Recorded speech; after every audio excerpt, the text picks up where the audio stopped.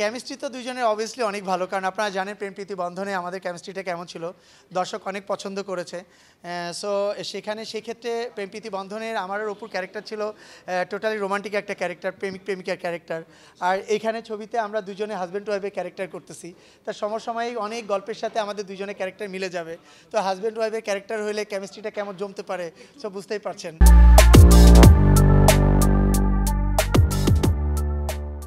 অর্থফুল meaning বলতে গেলে মনে করেন, আপনি নিজেও জানেন না যে আপনি সিরিয়াসলি একটা ট্র্যাপে এখনও পড়ে আছেন। আপনি জানেন না, এই ছবিটা দেখার পরে মনে হবে যে না, এই ছবির গল্পটা বা এই ক্যারেক্টারটা আমার সঙ্গে কোনো না কোনো দিক দিয়ে মিলে গেছে। শুধু আমি এই উদাহরণটাই দিতে চাই।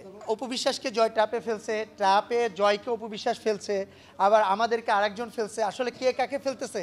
ছবির শেষ শটটা না হওয়া পর্যন্ত আসলে কেউ বুঝতে পারবে না। রোমান্স তো অনেক রোমান্স ছবিতে। ছবির ফার্স্ট থেকে লাস্ট পর্যন্ত শুধু স্বামী স্ত্রীর রোমান্সই আছে।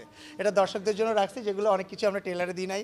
সো দর্শকরা অনেক কিছুই মিস করবে যারা ছবিতে মানে ছবিটা দেখতে পারবে না। কারণ অপবিশ্বাসের রোমান্স কত ধরনের হতে পারে, সেটা দর্শক দেখতে পারবে হলে গিয়ে আর কি। তাদের সাথে যাচ্ছি কি, কার সঙ্গে যাচ্ছি, এটা আসলে এখন না বলাটাই ভালো। কারণ এবারে নির্বাচনটা অন্যরকম একটা নির্বাচন হবে।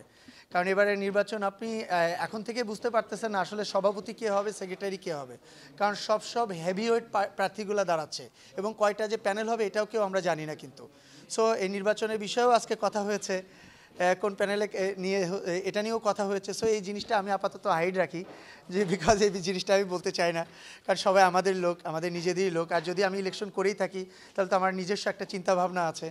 আর আমাকে যারা ইন্ডাস্ট্রিতে নিয়েছেন, নিয়ে আসছে, বিশেষ করে মনে হচ্ছেন দীপজল সাহেব ওনার তো ভালোবাসা নিয়ে আমি ইন্ডাস্ট্রিতে আছি।